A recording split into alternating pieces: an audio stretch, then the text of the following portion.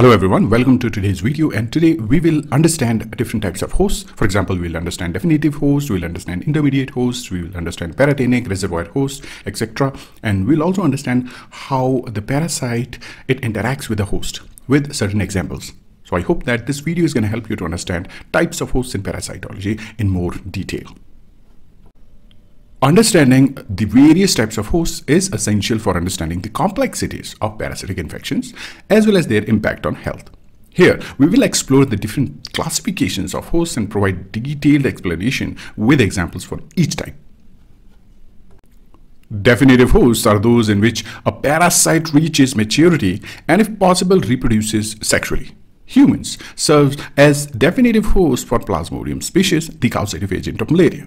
The parasite completes its sexual reproduction cycle in human RBCs. Second example is dogs for Echinococcus granulosus. In the case of tapeworm Echinococcus granulosus, dogs are the definitive host where the adult worms live and reproduce in the intestine.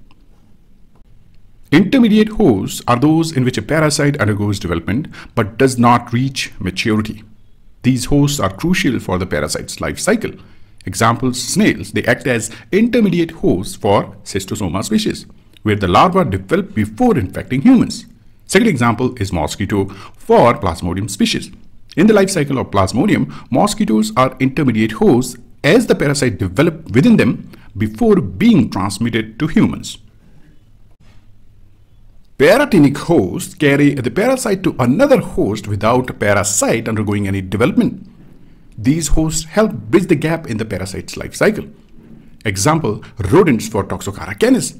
Rodents can act as paratenic hosts for the dog roundworm, Toxocara canis. The larvae reside in the rodent's tissue until they are eaten by the definitive host, typically a dog. Second example is bird for Alaria species. Birds may serve as paratenic hosts for the parasite host carrying the immature parasite until they are consumed by the definitive host, usually a mammal.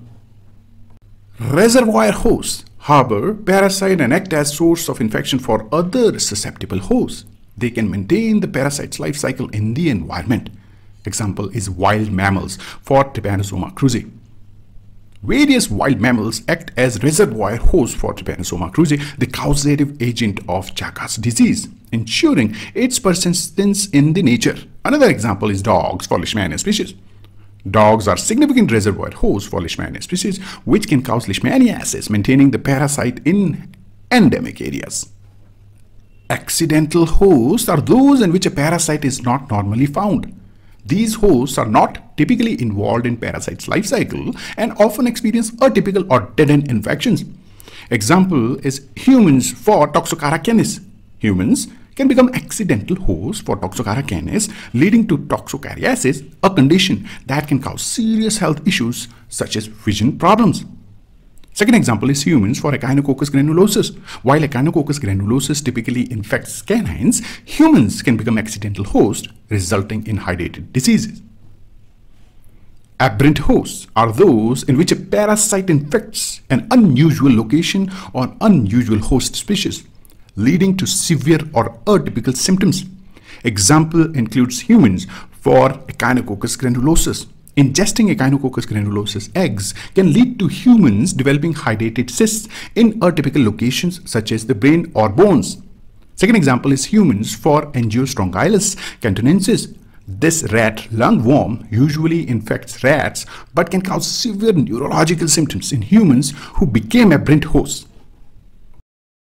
Hosts exhibit a wide range of relationships with parasites, from acting as definitive environments for maturation to being accidental victims of infection. Recognizing these classifications aids in diagnosing, treating, and preventing parasitic diseases.